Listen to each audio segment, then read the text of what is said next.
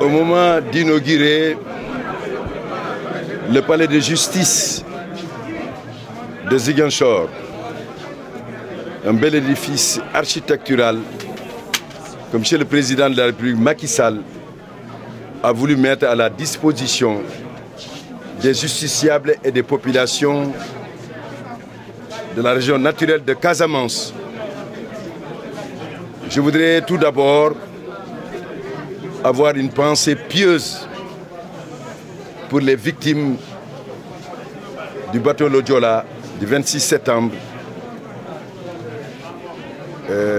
2000, c'est bien 2000 2002, ce qui fait 14 ans déjà. Et souhaiter vivement qu'une telle tragédie ne se répète plus dans notre pays. Je voudrais aussi féliciter le premier président de la Cour d'appel des Ziguinchor et le procureur général près la Cour d'appel des Ziguinchor qui ont été nommés et qui vont ouvrir cette juridiction nouvelle, attendue depuis fort longtemps par les populations casamancaises depuis l'indépendance. Je pense que c'est un progrès notable dans la modernisation de notre justice. Parce que les édifices publics qui sont les cours et tribunaux sont le visage de la justice. Et vous avez pu voir que nous avons un édifice majestueux et qui comporte près de 80 bureaux. C'est pourquoi nous envisageons d'en faire un vrai palais de justice avec toutes les commodités qui vont avec. Je voudrais également vous dire qu'au moment où je viens ici, d'importantes décisions ont été prises par M. le Président de la République Macky Sall hier en adoptant par le Conseil des ministres les projets de loi portant code pénal et code de procédure pénale.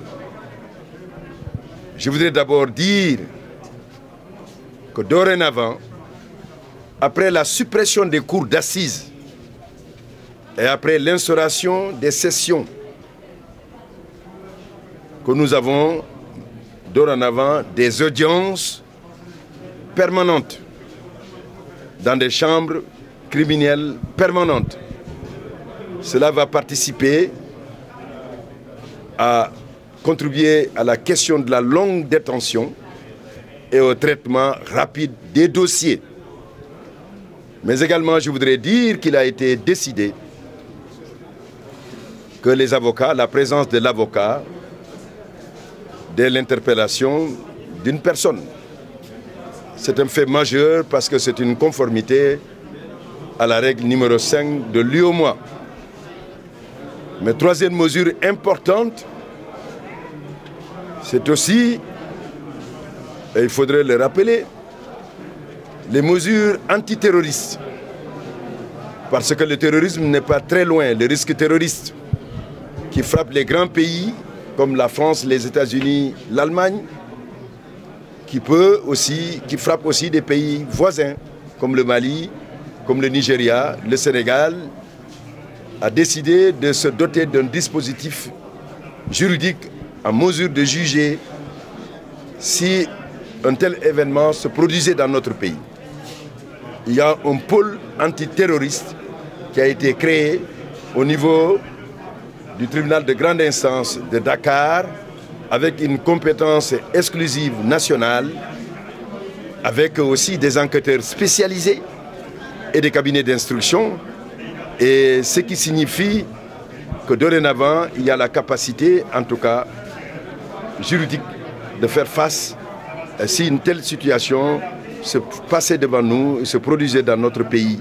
Ce que nous ne souhaitons pas, mais gouverner, c'est prévoir. Je voudrais également vous dire que le procureur de la République dans le cadre du droit à l'information des populations et des justiciables, aura dorénavant la possibilité d'organiser des points de presse pour expliquer, sans livrer le contenu total d'un dossier en raison du secret, l'information, mais donner euh, les éléments qui permettent de comprendre le dossier pour ne pas laisser libre cours à la rumeur et à la désinformation. C'est un fait majeur aussi qui a été décidé. Mais je voudrais aussi dire que pour les acteurs de la justice qui travaillent au sein de la justice, comme les officiers de police judiciaire, les greffiers aussi bénéficieront d'un privilège de juridiction, comme les greffiers en chef et les administrateurs de greffe. Mais il faudrait également préciser que toutes ces mesures visent aussi à renforcer la lutte contre la cybercriminalité et une nouvelle forme de criminalité. J'en passe, mais ce qui était important, si vous vous rappelez, le samedi passé, j'étais devant la prison de Rebes avec les événements qui avaient eu lieu. J'ai eu à dire que nous déplorons la mort de Ibrahim Fall, qui est décédé, Ibrahim Mbou dit Ibrahim Fall.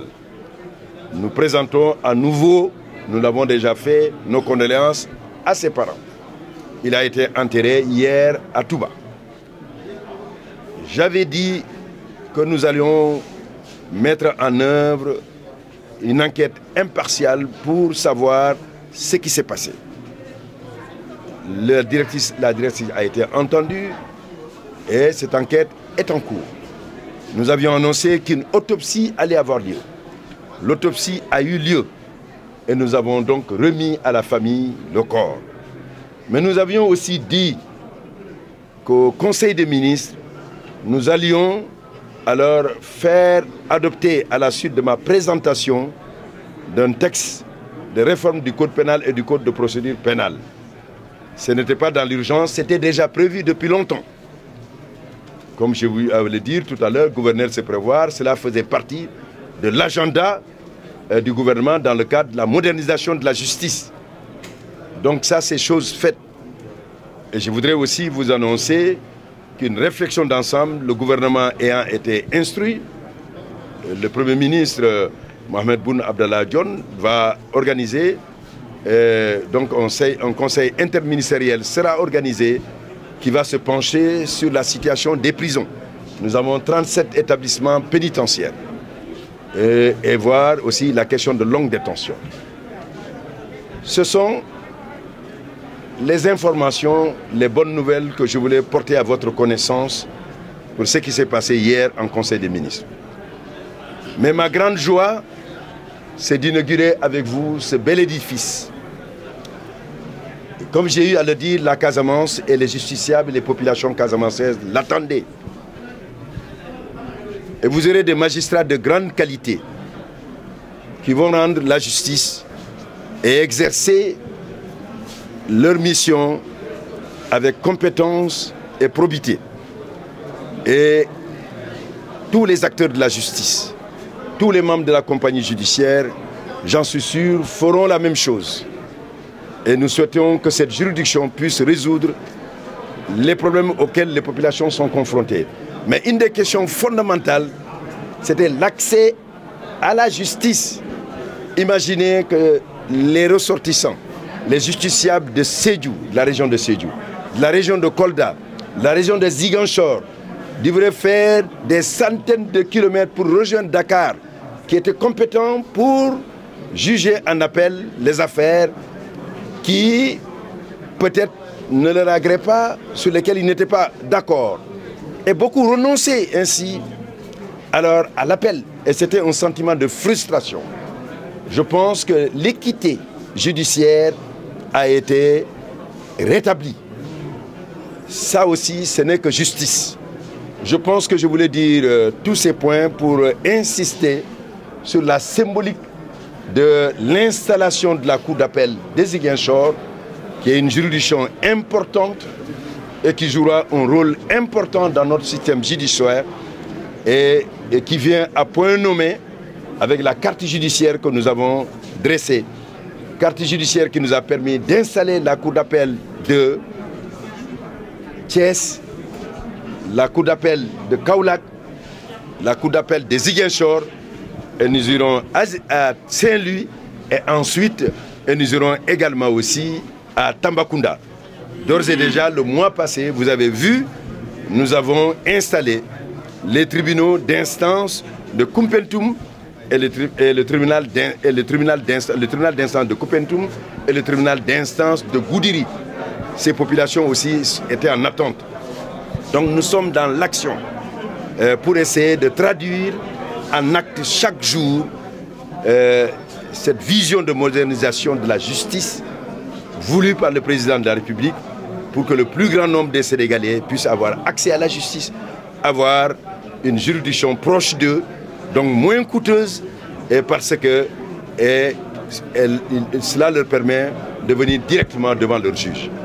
Voici les considérations et les quelques éléments que je voulais mettre à votre appréciation. Monsieur le ministre, vous avez... En Wolof.